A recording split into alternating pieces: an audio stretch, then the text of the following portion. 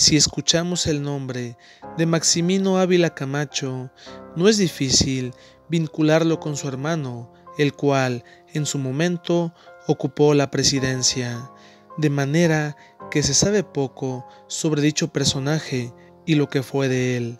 Vale la pena mencionar que si deseas saber sobre su vida, ya tenemos un video detallando su biografía y en este caso nos limitaremos a conocer su extraño final.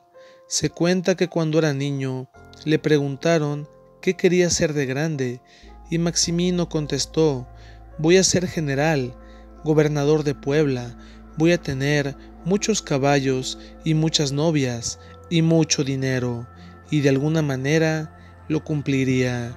Sabemos que fue un hombre lleno de enemigos, los cuales supo ganarse a pulso. Durante su juventud se unió a la lucha en contra de Victoriano Huerta y desde entonces fue un aficionado al juego, lo mismo que le encantaba el dinero, de manera que cuando ocupaba alguna población decidía cobrar impuestos inventados por él, esto con la intención de llenar su billetera.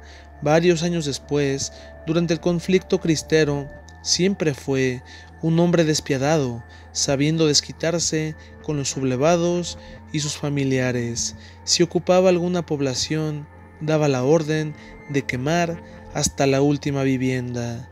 Después de algún tiempo, fue gobernador de Puebla, donde una vez más cometió todo tipo de abusos, lo mismo que decía que el Estado y sus habitantes eran su propiedad y podía disponer de ellos a su antojo, lo mismo que amasó una gran fortuna y tuvo una vida llena de lujos.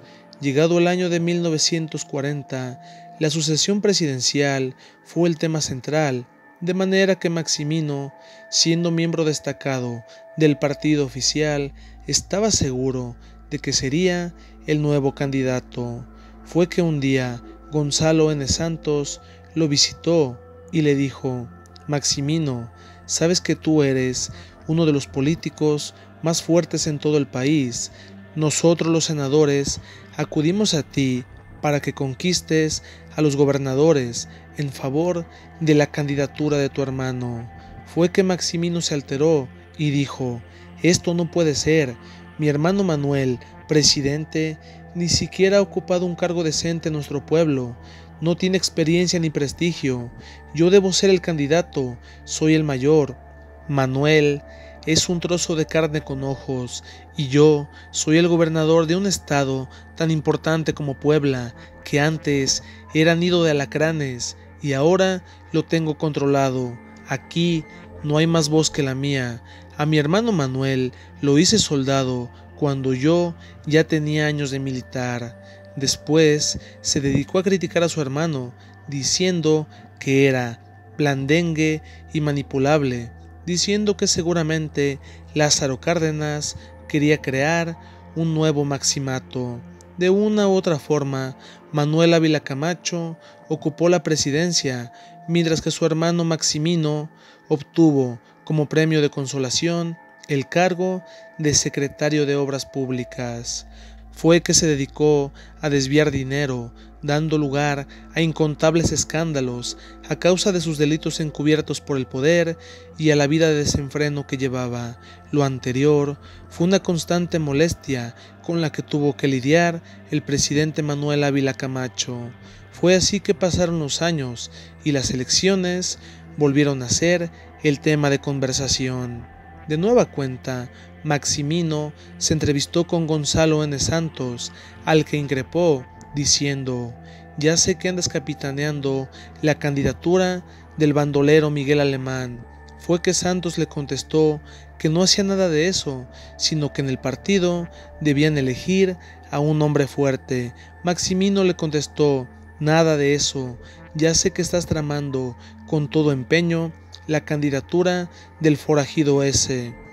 No es más forajido que tú, sentenció Santos. Días después, los dos hombres hablaron de nueva cuenta y Maximino se limitó a decir, mira, no vas a hacer ninguna campaña, no lo voy a permitir, ve y dile a mi hermano Manuel que no voy a lanzar mi candidatura. Y eso sí, el fascineroso de alemán no llegará a la presidencia. Eso porque yo les juro por mi madre que en cuanto el forajido Miguel Alemán se anuncie como candidato, le voy a dar un tiro y va a quedar tendido a los pies de Manuel. De nueva cuenta te lo digo, voy a acabar con Miguel Alemán. Desde entonces, durante los eventos del partido, llamó a Miguel Alemán ladrón, abusivo, delincuente y oportunista.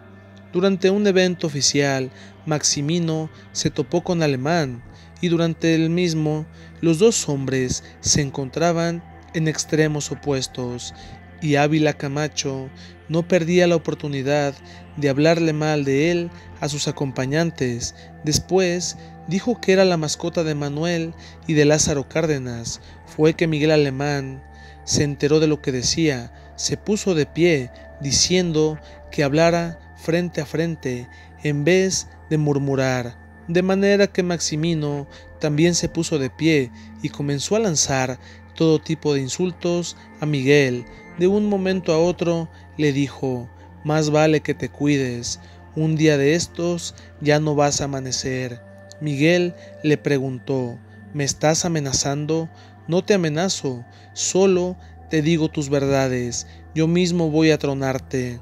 Después de algunas ofensas más, los dos hombres dejaron el lugar, y mientras sacaban a Maximino, no dejaba de amenazar a Alemán y a los hombres que lo expulsaban a la fuerza, diciendo que no sabían con quién se estaban metiendo. Fue así que llegó el mes de febrero de 1945. Durante esos días, la Crom organizó un banquete en Atlixco, donde Maximino fue el invitado de honor. Mientras comía, le preguntaban qué pensaba hacer con Miguel Alemán y una vez más dijo que acabaría con él. Incluso mencionó que si su hermano Manuel se interponía, le sucedería lo mismo. Después de todo, no sería la primera ni la última vez que se quebrara a un cristiano.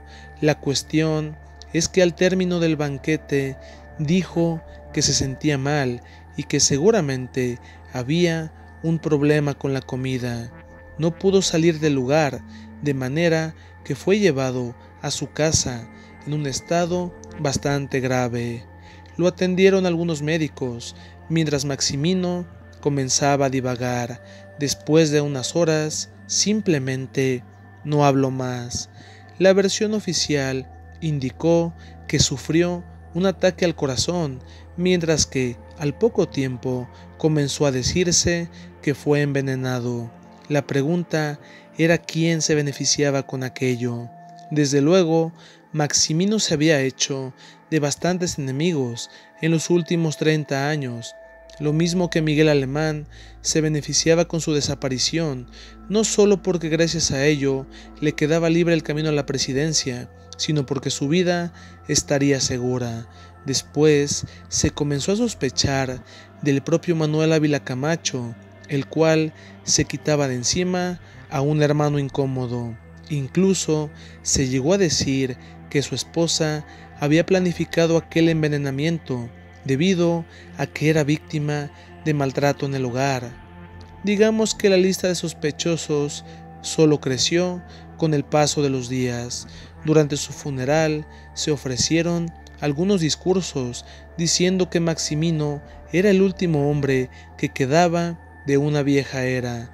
De buenas a primeras, la clase política lloraba su deceso, a pesar de que todos lo detestaban.